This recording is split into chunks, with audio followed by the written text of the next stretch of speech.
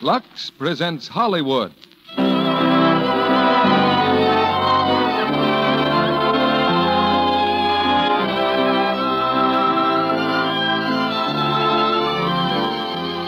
The Lux Radio Theater brings you Don Ameche and Maureen O'Hara in Heaven Can Wait. Ladies and gentlemen, your producer, Mr. Cecil B. DeMille.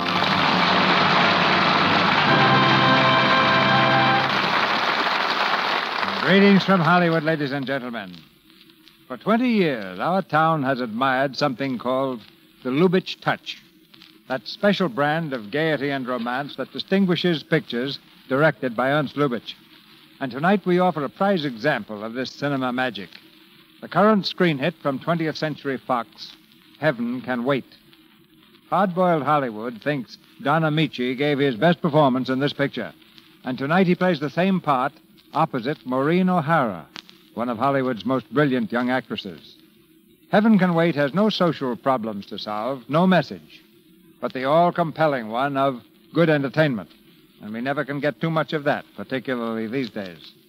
The play is the story of a man named Henry Van Cleve, who's been in hot water most of his life because of his rather enthusiastic interest in the opposite sex. But uh, he's at least ca- at last called to account in a very strange place. I think Heaven Can Wait should go very well with this national audience and with our global audience, too.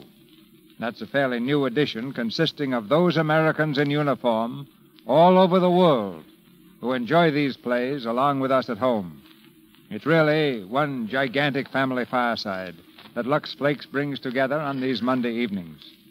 Somewhere on a little South Pacific island, a lad may be listening, while somewhere on the plains of Iowa, his family is listening too.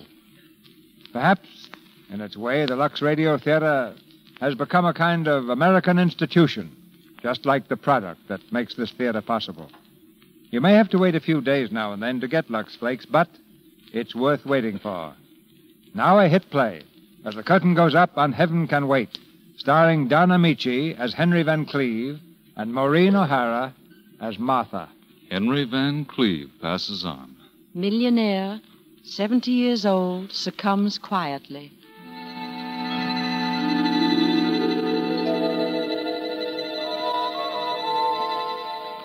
When Henry Van Cleve died, he realized it was very unlikely that his next stop could be heaven. So, with dignity and gentle humility, he presented himself at the place where people had so often told him to go Hades. Now he stands in the outer office of the head man of the region, known to his devilish associates as His Excellency.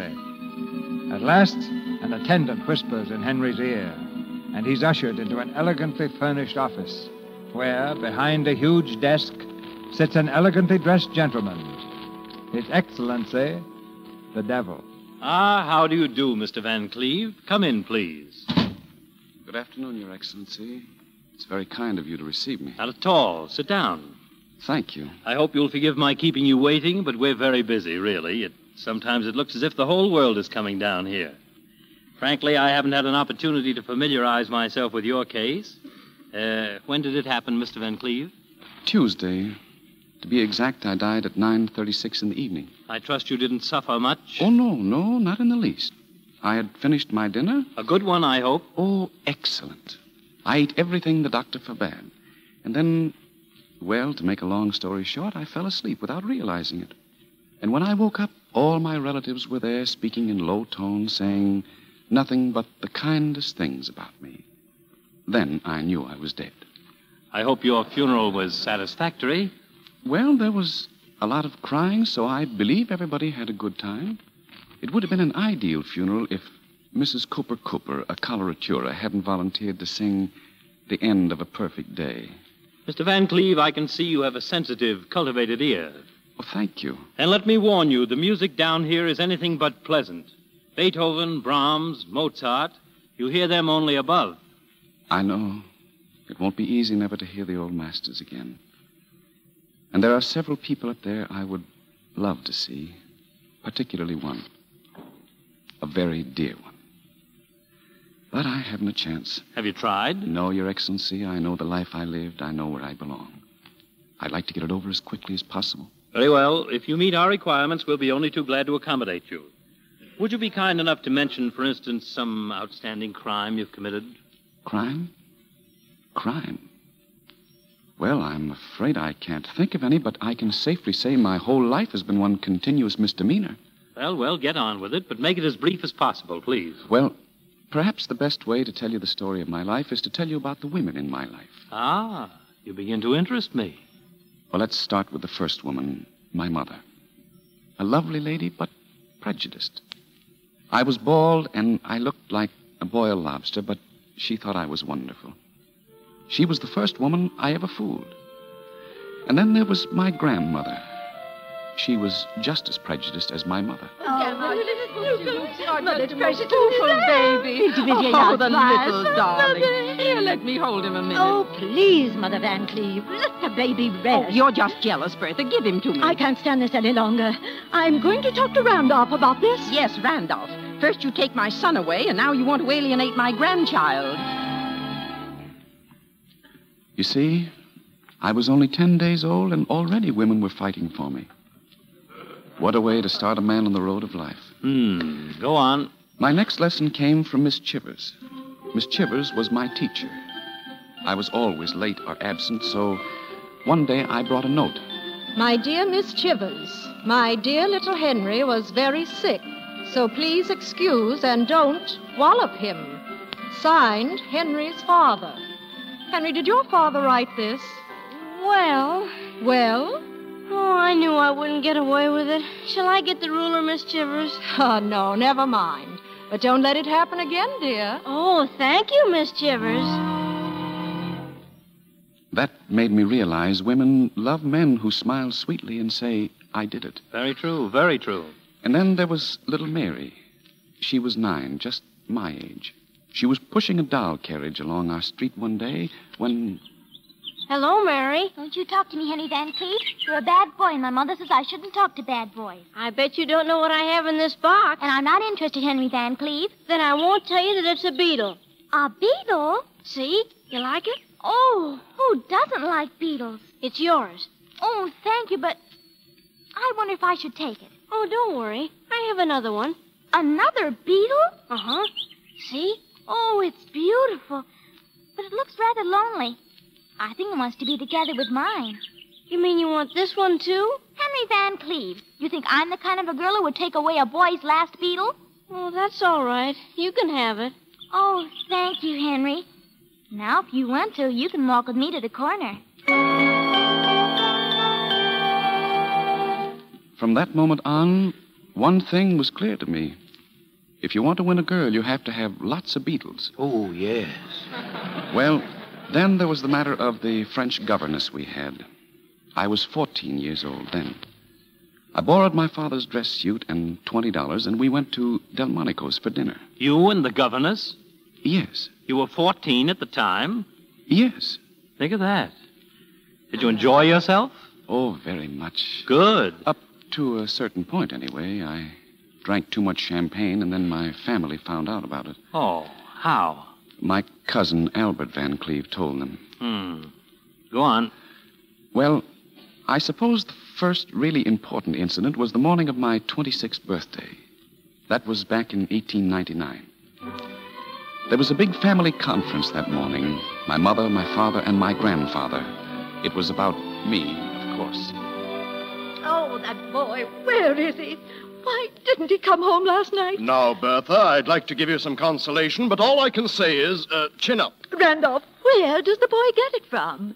Our own son. I give up, Bertha. I never gambled in my life, and I never knew what a musical comedy girl looked like. Why, to this day, I wouldn't know how to find the stage entrance to a theater. It's always around the back, Randolph. It has a sign over the door. You can't miss it. Father, please. I'm not interested. Too bad. Oh, where does the boy get it from? Father built up the Van Cleve Importing Company from nothing. When Father stopped, I carried on.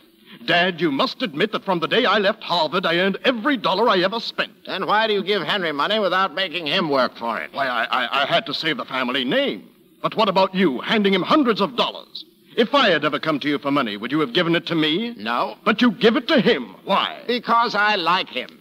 Father, does that mean by chance that you didn't like me? Son, I love you. Now shut up and leave me alone. Good morning, Grandfather. Good morning, Albert. Good morning, Uncle Randolph and Bertha. Good morning, Albert. Albert? Well, I just came in to bring a little birthday remembrance for Henry. Aye, anything wrong? Isn't he home?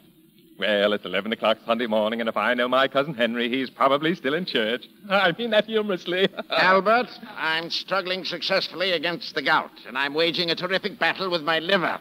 But I doubt if I have the strength to survive your jokes.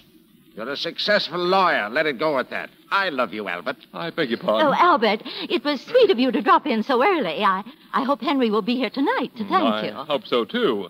Otherwise, I'd be in the most embarrassing position so far as my future in-laws are concerned. Oh, we're so eager to meet your fiancée. How does she like New York? Well, she's only been here for two days, and naturally the impression is overwhelming. Uh, and her parents, Albert, how are they? Oh, yes. And how does the big butcher from the wide open spaces like New York? Father, please. Grandfather, you don't seem to have any idea of the importance of Mr. Strable. Why, he's one of the great meat packers of our time.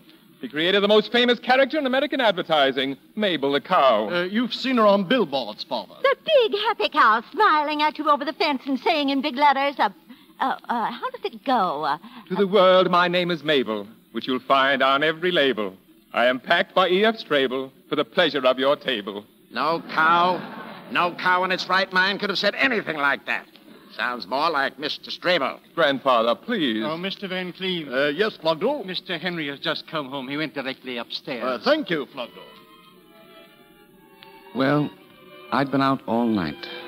I was in my room just getting out of my evening cape when Mother came up to speak to me. Henry, Good morning, Mother. are you all right, my boy? Yes, Mother. And many happy returns. I'm sorry, Mother, if I made you unhappy. Father and grandfather and I, well, we are worrying ourselves to death, but you don't give your family a single thought. All that matters to you is having what you call a good time. Mother, I went out last night to raise Cain. Oh, son, you mustn't talk like that. Don't worry, Mother, I didn't. I couldn't. I couldn't get her out of my mind. Henry, you bewilder me. Are you well? Mother, when you saw Father for the first time, did you feel that unmistakable something? Did you feel an electric spark from your head right down to your toes that swept over you like a hurricane and threw you down to the ground, but you bounced right up again and floated right over the treetops? Oh, heaven forbid. I never had such a feeling. Oh, Henry, where do you get it from? Not from me. And your father certainly never had any spark. Mother, Mother, all I'm trying to say is I met a girl yesterday. Oh, well, I hope she's from a good family. I don't know, and frankly, I don't care. Mother, if one sees a lovely rose, One can be certain that she comes from a fine rose bush. What's her name? Where does she live? I wish I knew. Is she is she one of those musical comedy? Oh, no, no, no. This time it's entirely different music. It's not the hoochie coochie. It, it's not the can can. It's like, well, like a waltz by Strauss, like a minuet by Mozart. Oh, son, where do you get it from? From you, Mother. Now, you must be just. When I, when I was a little boy, you wanted me to believe in fairy tales. And now, when one really happens. Uh, Mother, you remember that story about the young man? I think he was a shepherd who was walking in the woods. Oh, you've been in the country. No. No, it happened right on Broadway. Suddenly, the young man saw a big castle, and out of the window leaned the most beautiful princess. Nothing could stop him. He climbed up the parapet of the castle. Henry, have you broken into the Waldorf again? Mother, darling, let's forget the fairy tale. I don't think I'll ever find that girl. But if I did, all your troubles would be over. If she didn't want me to gamble, I wouldn't look at another card. I'd stay home every night. Mother, I might even go to work. Henry, that's wonderful. For the first time, you're beginning to sound like your father. Well, anyway, Mother, I don't know where she is, so don't expect too much.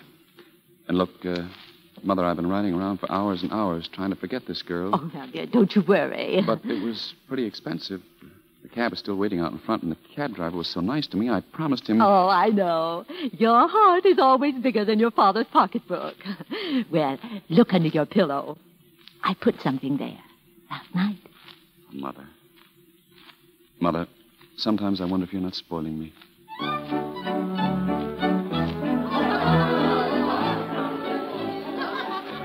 There was a big crowd at the house that night.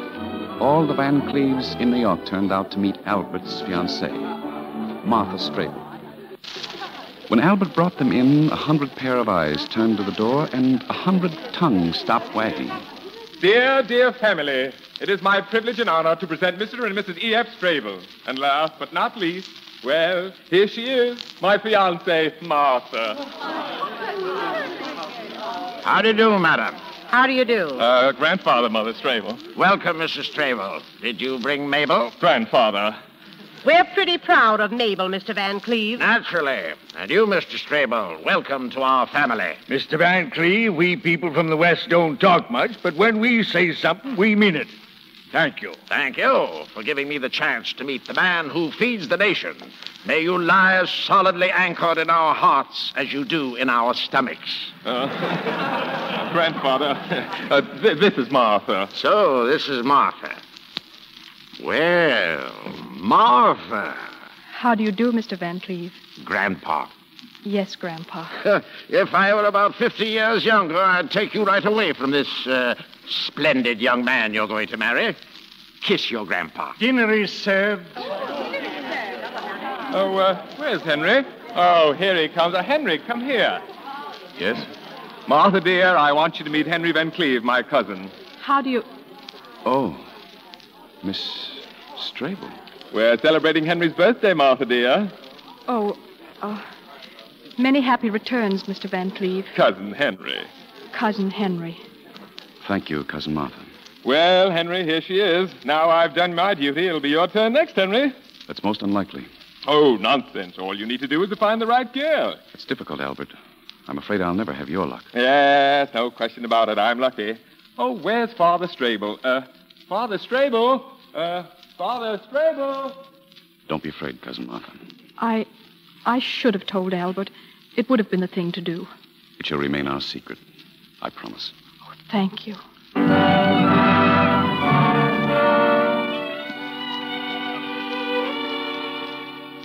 Yes, we had a secret. The most innocent secret I ever had. You see, I had met Miss Strable just the day before. It was in a department store near the telephones. I heard a girl making a call. Hello, Mother. Uh, I'm at the hairdresser's. Oh, they say it will take at least half an hour. Oh, don't worry, Mother. Goodbye. Now, here was a girl lying to her mother. Naturally, that girl interested me at once. Why was this angel lying? I had to find out, so I followed her. But even if she hadn't lied to her mother, I would have followed her anyway. She left the store and went to a bookshop on Fifth Avenue. She seemed very worried about something and kept glancing around nervously looking for a clerk. Well, briefly, I volunteered. May I help you, miss? Thank you. I'd like to. Oh, uh, aren't there any women clerks? Uh, no, unfortunately not. Well, it's, uh.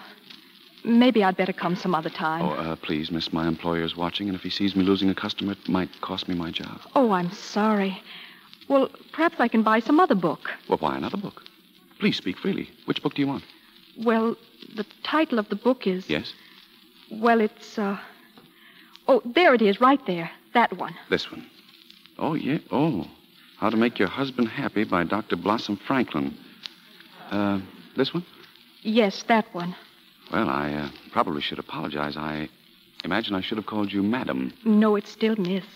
but not for long, I presume. That's quite right. Uh, how much is the book? Uh, well, it's uh, mm, it's very expensive. Oh, that's all right. Now, this is against the interest of the firm, but I must be honest with you. Don't buy this book. You don't need it. I'll tell you something much more appropriate. Leave your nest and fly away with me. Well, I, I might buy that book, too.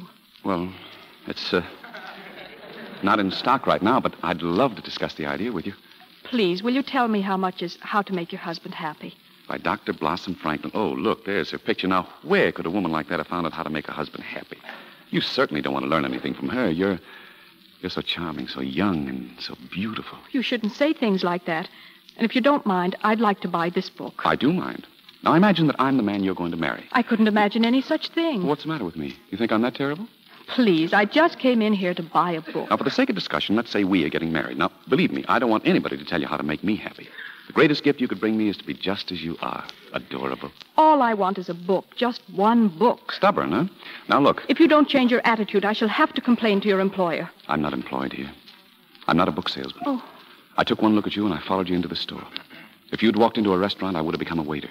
If you'd walked into a burning building, I would have become a fireman. If you'd walked into an elevator, I would have stopped between two floors and we would have stayed there for the rest of our lives. I. I think you must be mad. Goodbye. Oh, no. Wait. Please, please.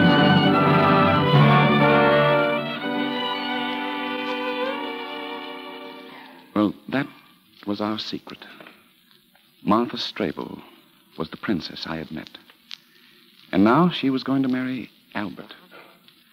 That night, Mrs. Cooper Cooper entertained at the party. I call it entertainment. She was singing.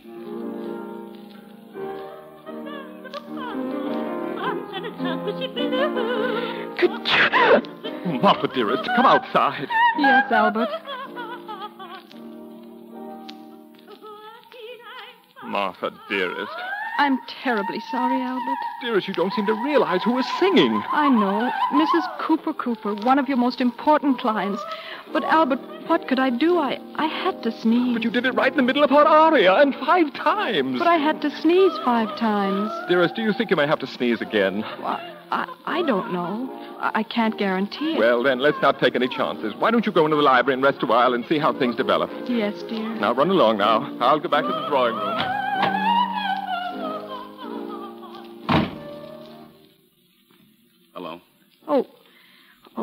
I didn't know anybody was here. You didn't know I was here. Is that what you mean? Cousin Martha, look at me. What? You're beautiful. You're so beautiful.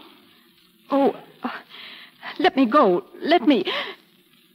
Oh, oh, you, you, you kissed me, You're irresistible. cousin Henry. Yes? You must never do anything like that again. I hardly know you. Why, even Albert, my own fiance, never dared To kiss you? Well, of course he kissed me. Why not?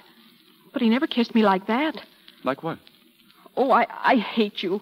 I don't know why I even stay in the same room with you. Please forgive me. But can't we be friends? Never. Now, look. We're going to be related, aren't we? We're going to see each other. How can we help it? Well, I I suppose we can't. And if we meet in the future, we don't have to talk about personal things, about you and me. Let's, well, let's talk about something neutral. For instance, Albert. Why not? By the way, do you love Albert? I'm marrying him, am I not? Are you? Yes, I am. No, you're not. You can't. You haven't got that book. What book? How to make your husband happy? It might interest you to know I went back and bought it. Does it tell you how to make a man happy whom you don't love? Why, he's he's a fine man. He, he's good. He has integrity. He's full of high ideals. Do you love him? Well, I'm I'm going to make him a fine wife. At least I'll try my best. And if you ask me any more questions, I'm going to leave this room and I'll never come back here again. Never. I still can't understand. An angel like you and Albert. It doesn't doesn't make sense. Why do you want to marry him? well, I, I've always wanted to live in New York, and oh, I don't want to say anything against our home. Don't misunderstand me. We have all the modern conveniences and luxuries, but you don't know father and mother. Well, I've, I've only just met them. Don't you think they're sweet? Well, yes, very sweet. Oh, yes, yes, they are. But you see, it's not very easy living with them. You see, most of the time they don't talk to each other, and whenever a young man and oh, they wear some very nice ones. Well, I'm sure of it. Well, if I if one asked for my hand and my mother said yes, my father said no, and if my father said yes, my mother said no. But Albert came when they happened to be on speaking terms, and if I hadn't said yes, who knows when they might have been on talking terms to each other again, and I might have been an old maid. No, no. You're not going to be an old maid. You're going to be married, but not to Albert. And yet you won't even have to change the initials on your linens. I don't know what you're talking about. You're going to marry me. We can't. How can I marry you? I'm not even engaged to you. Martha, do you love me? Well, I, I, I hardly know you. Love doesn't need any introductions. You love or you don't love. Do you love me or don't you? Trying to take away the fiance of your own cousin. Do you love me? Yes. Oh, why did you ever come into my life? To make you happy, to hold you in my arms forever. Oh, I wish I were dead. Look, look let's get away. Let's get married immediately. Tonight, right away. You mean elope? Yeah, that's just what I mean. Oh, where would we go? I, I never did such a thing before. I, I feel so helpless. Oh, I wish I were dead. Oh, when Romeo and Juliet ran away from home, they didn't stop to say goodbye. When Tristan falls in love with Isolde, they have to sing for three and a half hours. And all I'm asking you to do is to jump into a cab with me and drive to the first justice of the peace. What are we waiting for? Come on. No, wait, listen. Oh, now don't stop now. But Albert. Come on, come on, or do I have to carry you? Listen, we can't. All right, then I'll carry you. Henry, put me down. Mr. Henry, sir. Open that door, Flogdell, quick. Henry. Mr. Henry, sir, what are you doing? Get out of the way. We're going to be married. Mr. Henry! What's the matter? What's all the excitement? Right in the middle of Mrs. Cooper Cooper's aria. Mr. Albert, what happened, Flogdell? Mr. Henry and Miss Strable, they're going to be married. Oh! Are you sure? Yes, sir. She was packed by E.F. Strable to be served at Albert's table, but that Henry changed the label.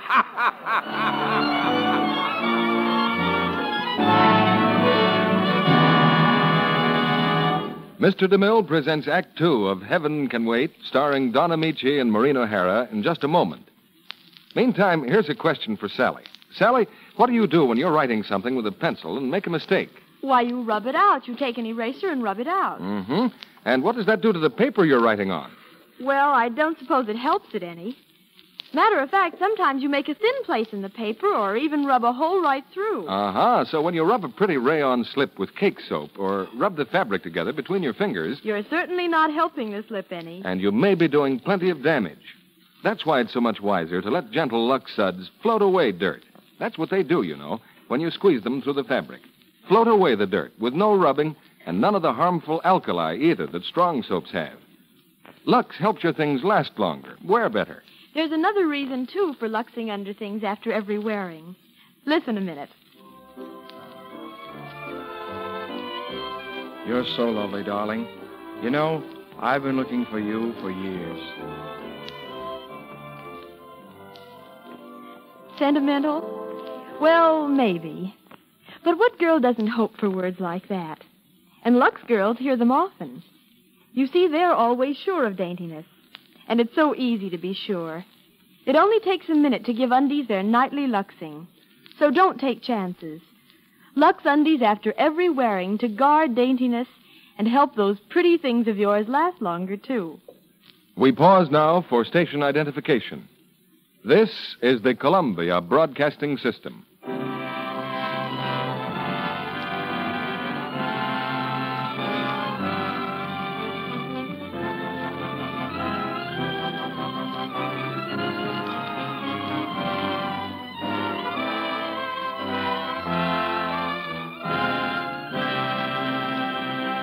Act Two of Heaven Can Wait, starring Don Ameche as Henry and Maureen O'Hara as Martha.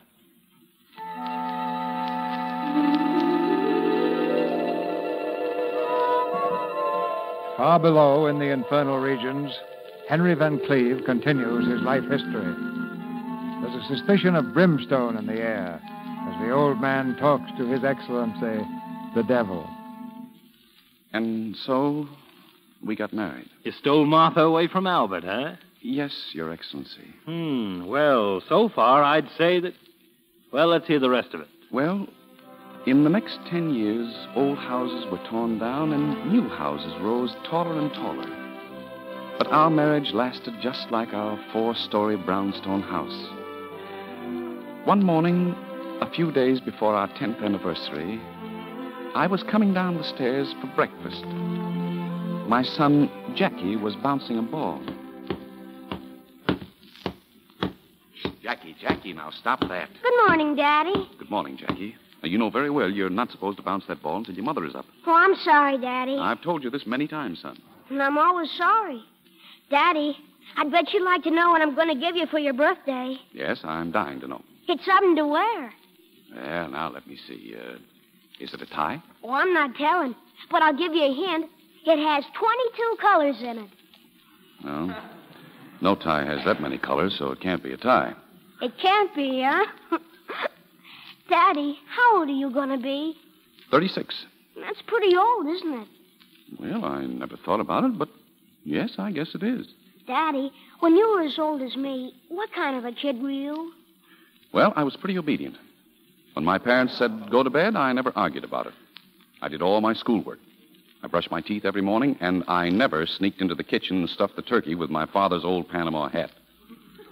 Gee, Daddy, I guess you were a wonderful boy. Well, uh, I suppose I was. Then Grandpa must be a terrible liar. well, goodbye, Daddy. Goodbye, Jackie. Where does he get it from? Good morning, Henry. Morning, Mother. Sit down while your breakfast is still hot. Morning, Grandfather. How are you feeling? That's fine. Look, Mother, this is a bracelet I bought yesterday. You think Martha will like it? Oh, it's beautiful. Well, after ten years with me, I think she's entitled to it. Yes. Oh, if your father could only be here, Henry, to see you settle down. A fine husband, a good father, and, and a wonderful son. Well, it's Martha and only Martha. You know, I'm the luckiest man in the world. Oh, by the way, isn't she coming down for breakfast? I didn't go into her room. She's probably tired. Mr. Van Cleve's service telegram came for you. Thank you, Flogdell. What is it, Henry? Anything serious? No, no. Nothing. I, uh, I think I'll go upstairs and see if Martha's still asleep.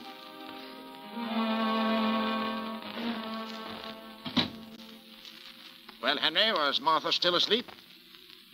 Show me that telegram, Henry. Here. Please don't try to follow me. As soon as I have settled down, I will make plans about Jackie. Don't let him know anything. With your ingenuity, it will be easy to make up a story. Henry, you mean we've lost Martha? It's incredible. It just doesn't make sense, Martha leaving me. What did you do? What happened? I don't know how I can go on living without her.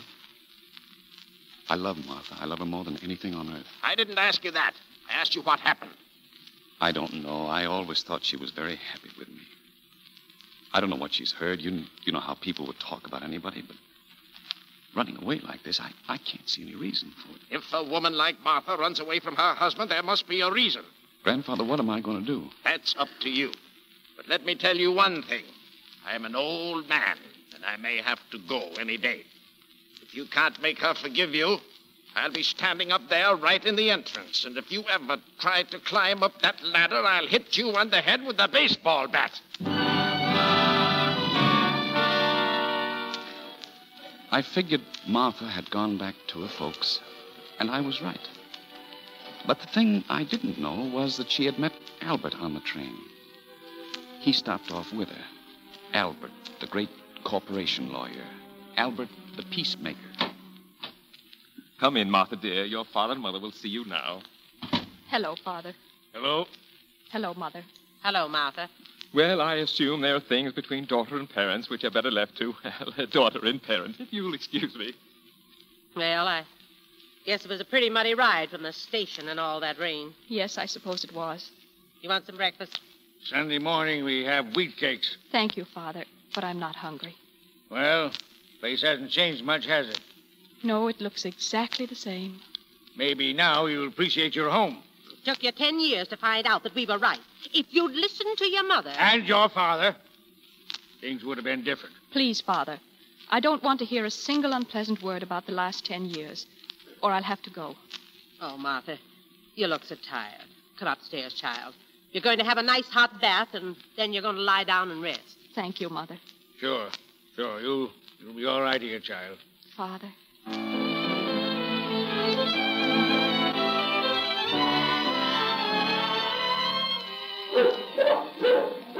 Jasper, what's all that noise about? Jasper! Will you stop yelling? I'm trying to read. Jasper! Yes, sir, yes, sir, yes, sir. Uh, I just talked to Mr. Chuck, sir. He says somebody saw a couple of prowlers somewhere on the grounds. They may be some of them horse thieves. Well, tell Chuck to keep after Uh, him. yes, sir. And if necessary, shoot him. Uh, yes. Excuse me, Father, but if you don't mind, I think I'll go upstairs. I'm pretty tired. Good night. Sure, sure. Good night, Mother. Good night, dear. Breakfast at 7.30. Yes, Mother. Oh, uh, uh, Martha. Yes, Albert? Martha, I want you to have a restful night. And why not? Your troubles are actually over. You paid for your mistakes and paid dearly. Albert, I don't want anybody to get the impression that I'm a victim of ten years of misery. Nothing of the kind. There were moments in my marriage which very few women have been lucky enough to experience. There were times when you were lifted way up to the sky. Yes, way up. Only to be dropped way down afterwards. That's not the purpose of marriage. Marriage is a peaceful, well balanced adjustment of two right thinking people. I'm afraid that's only too true. Good night, Albert. And, and Martha, there's one other thought I want you to sleep with. My feelings for you have remained unchanged. That's very kind of you. Naturally, I'm not the flashy type like some people, and I would say I'm rather on the conservative side. And if I were, for instance, a suit of clothes, you, well, you'd not call me a stylish cut, and I prefer it that way. But I can safely say that I'm made of solid material. I'm sewed together carefully, and my lining is good. Frankly, I believe I wear well. I'm not too hot in the summer, and I give protection in the winter. Need I say more? No, Albert. You gave a complete and accurate description of yourself. Good night. Thank you, Martha. Miss Martha. Miss Martha, excuse me, please, ma'am, but that horse thief we was looking for. Oh, yes. Did you catch him, Ma- Jasper? Yes, ma'am. He's right in your room, waiting for you. In my room, you mean? Oh, Yes, ma'am. That's him. Henry, you. Oh, Martha, darling, sweetheart. How could you do this to me? Don't you realize what I went through running away like that without a word? Can't you imagine what I suffered? Oh, Martha, Martha. Henry, it won't work anymore. What's Albert doing here?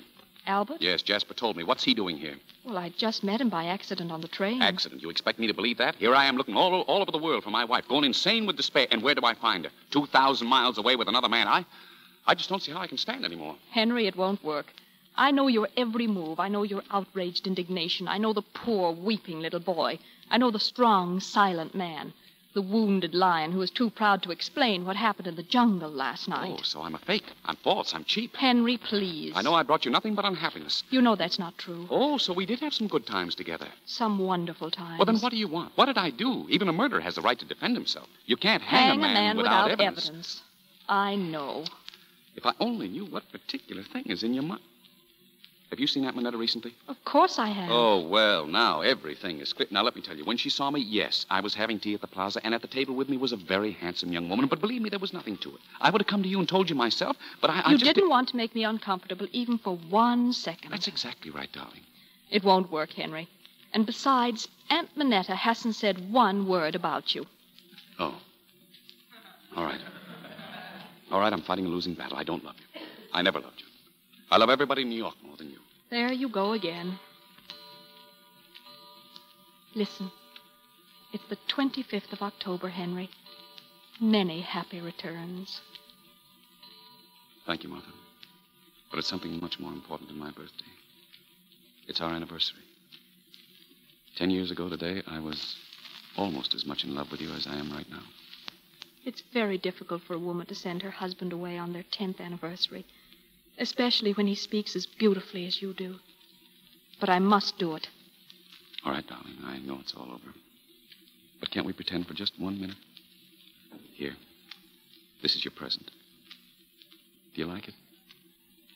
I'd say it cost $10,000. For that money, it's a very good purchase. Well, Martha, what makes you talk like that? If you'd only forgotten to give me this bracelet, I probably would have been foolish enough to be in your arms right now. You've no idea what a mistake you made. The magician played one trick too many. You see, the other day I was having a new photograph made of Jackie and me, and I wanted to have it the right size to fit into your wallet. So I slipped into your room. This is what fell out of your wallet. It's a bill from the jeweler's.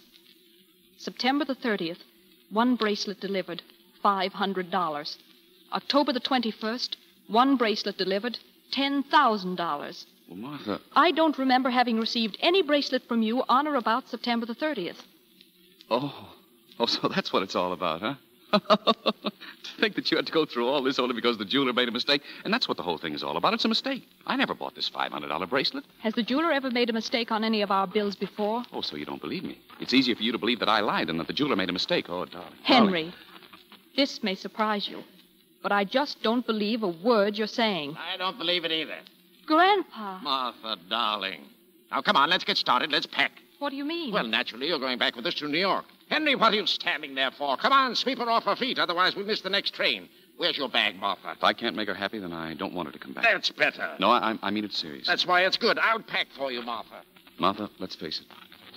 You want a divorce? I see no other way. What about Jackie? Naturally, I want him. Yes, I think you're right. The boy should get away from me. Oh, I didn't mean it that way. But I did. You want him to turn into another Henry Van Cleve? Where are the rest of your things, Martha? In the closet, but Fine. For instance, do you know what our little Jackie did the other day? what? bought ice cream for a little girl? What's wrong about that? I think it's charming. But the girl he bought the ice cream for was not the girl he should have bought it for. The little devil. And when the one little girl found out that the other little girl. Well, that boy got himself into such a mess. Did he get out of it? Oh, sure. Little girl likes him better than before. Oh, what a child. But let me tell you, he is a problem. I suppose so. But when he comes and makes up his little stories, and you know that they are just little stories, but he wants you to believe them so badly that you wish you could, and finally, well, what else can you do? Yes. Oh, but uh, I'm not talking about. Oh, I. Oh, I don't know. I. Happy anniversary. I'm still too confused. I have to collect myself. You can do it on the train. Well, what am I going to say to my parents? Send them a telegram. You mean sneak out of the house in the middle of the night? Exactly. Like thieves? Yes, like thieves. We did it once before. Why shouldn't we do it again? How many people are lucky enough to have the thrill of eloping twice in one marriage? That's it, that's it. Well, we better get started. Will you come back, Martha? Well, Of course you will. Martha, will you? yes, Henry, of course I will. We sneaked down the stairs and out into the carriage. Old Strable saw us, though. He came flying out of the house like a tornado. Come back! Come back here! Bye, Father. Come back! And so farewell, dearie of Strable. We take Martha, you keep Mabel. Yippee!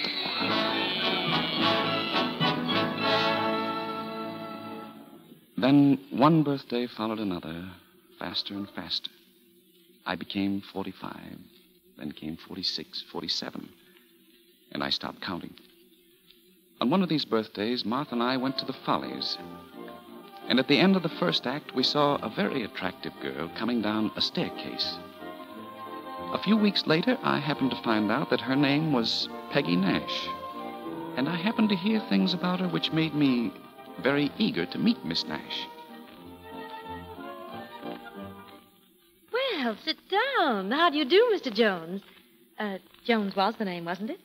Uh, yes, yes, Jones. Uh, how do you do, Miss Nash? Thank you for letting me call. Thank you for those beautiful, beautiful roses. When I saw you the other night at the Follies coming down that stairway, I said to myself, That's the girl of my dreams.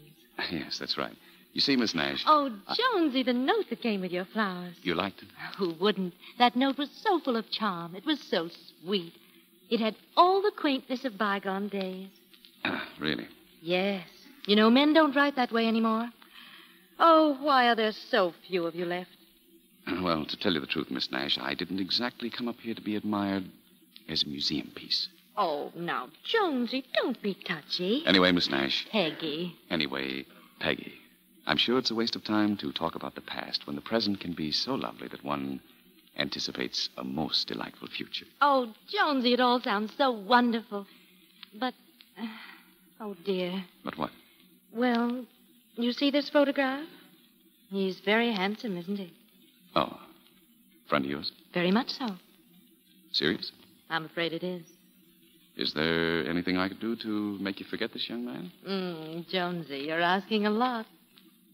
Would it be indiscreet to ask who he is?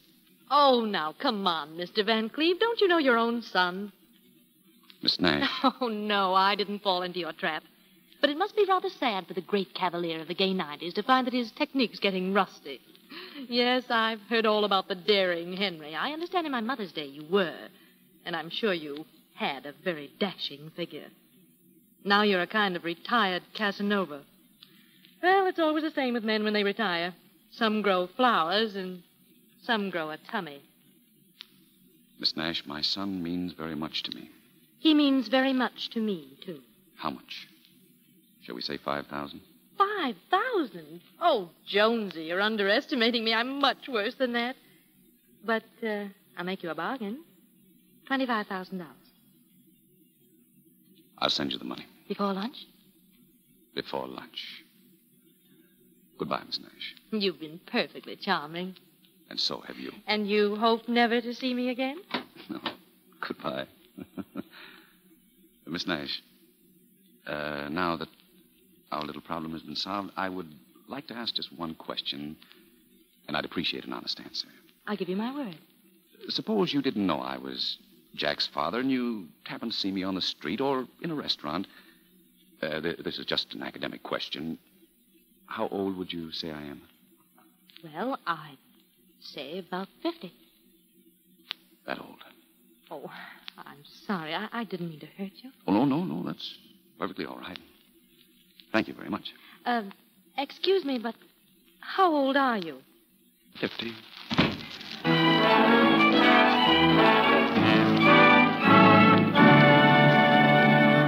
After a brief intermission, Mr. DeMille returns with Don Ameche and Maureen O'Hara for the third act of Heaven Can Wait. But before we do, Sally has a new version of the old nursery rhyme about the little Indians. It's a very sad story, Mr. Kennedy, so I hope you're in the proper frame of mind. It's about a girl who just bought some new rayon stockings. It goes like this Four little stockings, pretty as can be, one popped a run. Well, then there were three. Three little stockings, pretty nearly new, got rubbed with cake soap. Oops, only two. Two little stockings, my story's nearly done. Strong soap weakened them, so now there's one. And you know a girl can't go around wearing just one stocking. A very sad story, Sally. But I'm afraid your heroine wasn't awfully bright. She was just plain dumb, Mr. Kennedy. Why, if she'd luxed those stockings, she might still be wearing them. She might indeed. We have proof, you know, that luxing stockings cuts down runs over 50%. In a whole series of tests on rayon stockings, the ones washed with Lux Flakes lasted far longer than those rubbed with cake soap or washed with a strong soap. Luxing cut runs in half. And that goes for silk and nylon and cotton, too, as well as rayon. Whatever kind of stockings you're wearing, a luxing a day helps to keep runs away. Just be sure you let your rayons dry thoroughly. They need from 24 to 48 hours to get dry all the way through. And be sure you get Lux Flakes. If your dealer is out of Lux when you ask for it, he'll have more soon. So ask him again in a day or two. Now, our producer, Mr. DeMille. After the play, we have an appointment with two very charming people, our stars. But now the curtain rises on the third act of Heaven Can Wait, starring Don Ameche and Maureen O'Hara.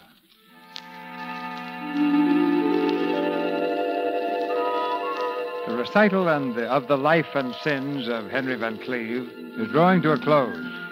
As Henry talks, His Excellency the Devil listens attentively, jotting down notes on a pad of red paper.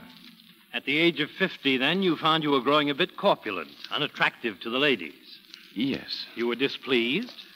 Well, in a way, a man likes to feel that, well. Vanity. I suppose that's it. Continue, please. Well, another year rolled by, and Martha and I celebrated our 25th anniversary. Early in the evening, she disappeared. I found her later sitting alone in the library. Darling, what are you doing here all alone? Nothing. I just wanted to take a little rest. After all, it's been such an exciting evening. Nothing wrong, is it? Oh, no, nothing, dear. I'm just. Just what? Well, to tell the truth, I'm being a little sentimental. So I came in here for a few minutes. Ah, yes. This is where it all started. 25 years ago. Yes. Uh, I was standing there by the window. No, you were sitting in the chair. Oh, that's right. And then, and then you came in. You went over to the window. Then suddenly you started walking towards me. Very slowly. I could count every step. Oh, you were such a frightened little girl. Darling, I want to make a confession. After all, we have been married 25 years. Well, what is it, Martha? I wasn't frightened at all. You weren't. When you were walking towards me so slowly, do you know what was in my mind? I thought, what's the matter with him? Can't he walk any faster? you darling Martha. Yes, Robert. Mrs. Van Cleve, you're wanted on the telephone. Oh, thank you. Hello. Yes, I called you. Well, it's really not important. Yes, everything's all right now. I'll call you tomorrow. Who was that? Oh, nothing special. Let's go back to our guest, shall we? Darling, who was that on the phone? Oh, I'll tell you all about it some other time. Why not now? All right, I'll tell you. This is another confession. My lover. I don't think that's funny at all. Are you jealous? Oh, don't don't be silly, Martha. But why can't you tell your husband whom you talked to over the telephone? And besides, I wouldn't have brought it up right now, but for the last several weeks you've been going out in the afternoons, and you've always managed to avoid telling me where you were. You are jealous. Oh, Henry. At last, after 25 years. Thank you, darling. Martha, whom did you talk to? Well, do you promise to be sensible and not to make a mountain out of a molehill? Yes, I promise. Well, you know how women are. We have too much time on our hands, and we begin to imagine things are wrong with us. Well, I'm no exception. So I've been going to a doctor, that's all. Darling, you know, I certainly feel like a fool. now, I'll make a confession. I really was jealous. Imagine a man of my age get. Martha, what did you see the doctor for? What, what's wrong? Oh, nothing really.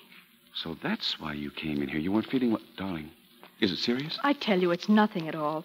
Just a little dizzy spell. Now, you promise to be sensible. What did the doctor say? Listen, dear. If I take five drops three times a day, and if you don't worry too much about me, we'll both live to celebrate our golden anniversary. Now, let's dance.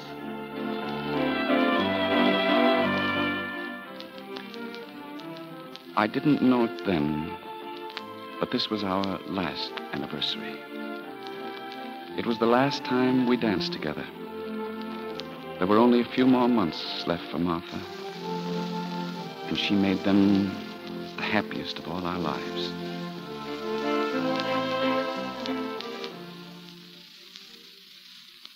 I was a lonely man after Martha died.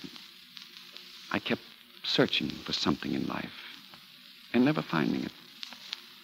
Perhaps it was my youth I was looking for. Perhaps it was Martha. One morning, I came home at breakfast time.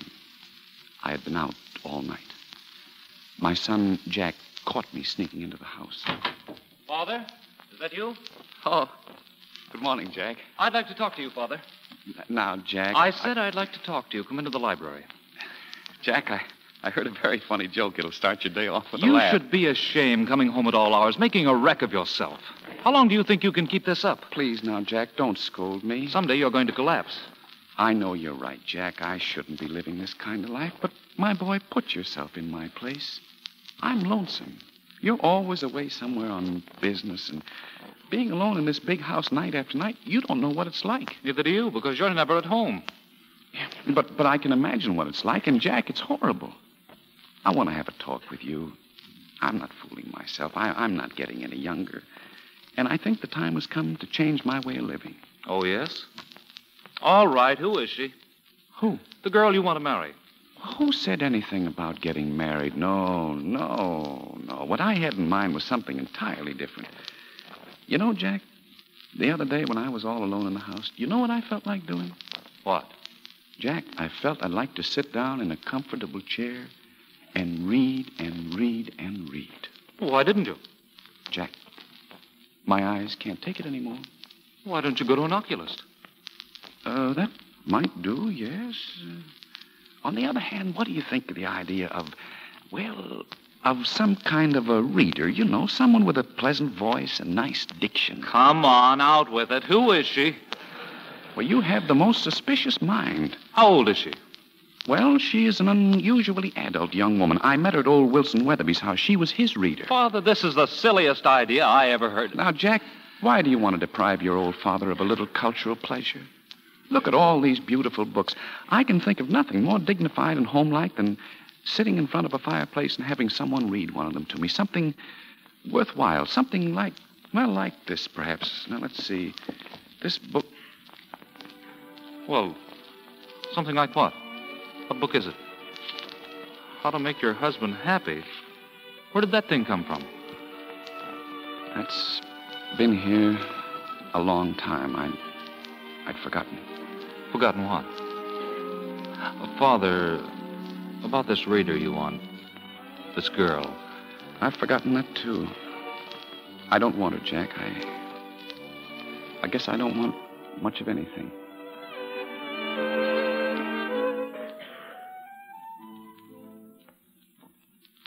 A man grows older, his medicine cabinet grows bigger. At the age of 70, my medicine bottles filled six shelves. The night I died, I'd eaten everything the doctor said I shouldn't. When I woke up, there was a nurse sitting beside me. A nurse. She was a vision. I opened my eyes, and there she was. Nellie Brown, registered nurse. Your Excellency, one look at her, and it didn't matter whether she was registered or not. Hmm. And then, then Nellie took out a thermometer, and she said, Open your mouth. Well, who wouldn't for Nellie? Then she put the thermometer in my mouth, and my temperature went up to a 110. Who could ask for a more beautiful death? Well, Your Excellency, that's the story of my life. And now I'd be grateful if you'd ring for the elevator and send me down where I belong. No, definitely no. Sorry, Mr. Van Cleve, but we don't cater to your class of people. Please make your reservation somewhere else. Somewhere else? But, Your Excellency, if I walk into the lobby of the other place. You mean above? Yes, I know what will happen. The man behind the desk will say, Can't you read the sign? Clientele restricted. Well, you never can tell. Sometimes they have a small room vacant in the annex. Not hmm. exactly on the sunny side, not so very comfortable. The bed may be hard, and you might have to wait a few hundred years till they move you into the main building. Oh, I don't think they'll even let me register. Well, it doesn't hurt to try. After all, they may inquire about you among the residents in the main building, and I think you'll find a lot of people who'll give you a good reference. That always helps. For instance, grandfather. Oh, yes, yes, grandfather. Don't you think he'll be waiting for you? He might. He will, and not with a baseball bat. And there must be many old waiters from Sherry's and Delmonico's whom you tipped generously. Those old cab drivers who still remember that you never waited for the change. Yes, I wouldn't be surprised if you have a lot of friends up there. And if they all should fail, there's someone else. Yes, she is up there. She will plead for you. Do you think so? You know she will. Mr. Van Cleve, I would say you have a chance. Anyway, it's worth trying. Here's the elevator. Goodbye, Your Excellency, and thank you. Good luck. Oh, I'll need it. Going down, sir? No, up.